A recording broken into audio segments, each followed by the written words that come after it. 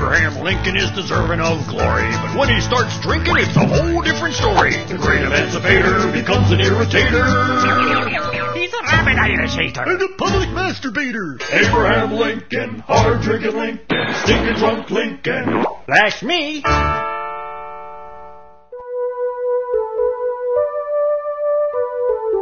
Oh, no, you don't. Don't you get on that boat. That is trouble. Will you be quiet? I shall be silenced when my maker deems such time has come. Ho, ho, ho. They should call this Titanic. Get it? Get tit? you know, before she got naked, this was a derby. Come on, loosen up, you old whore.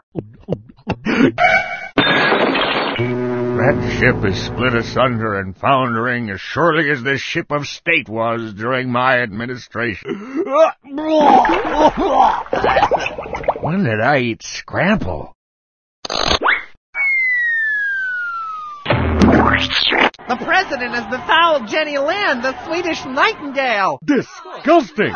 Appalling! Hey! Can I have that back? It's a two dollar hat! The president's been shot! Ah, screw you all.